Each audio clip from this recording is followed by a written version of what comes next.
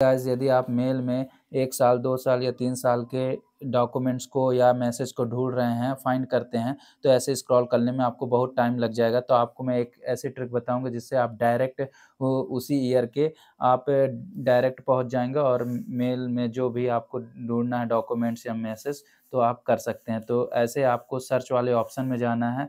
फिर यहाँ पर देखिए ऐसे करके ऑप्शन होगा। तो आप यहाँ पर देखिएगा। स्क्रॉल करने के बाद यहाँ पर डेट का ऑप्शन आएगा। तो यहाँ लिखा है ओल्डर देन अ वीक। तो यहाँ वीक एक हफ़्ते का पीछे देखना है, मंथ का देखना है कि सिक्स मंथ के पीछे का देखना है या एक ईयर का पीछे का देखना है। यहाँ लिखा कस्टम रेंज, वहाँ पर क्लिक कर दीजिए। क्लिक करने के बाद यहाँ पर आपको दिख रहा होगा, यहाँ डेट नवंबर 2024 उस पर क्लिक करिएगा।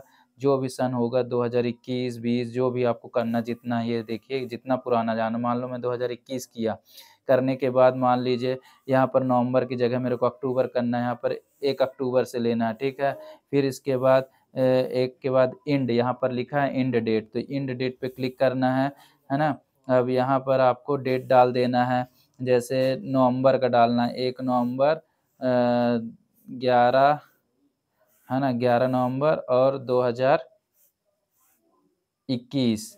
ओके बटन दबा दूँगा तो उस सन का ये आ गया। अब आप, जितना भी मैसेज या डॉक्यूमेंट्स होगा ढूंढ लेंगे। आपको जितने मंथ का, जितने टाइम का, या एक दिन का, दो दिन का, तीन दिन का, जितने भी वीक का ढूंढना है या साल का ढूंढना है, आप ऐसे करके डायरेक्ट ऐसे मैसेज या डॉक्यूमेंट्स ढूंढ सकते हैं मेल में।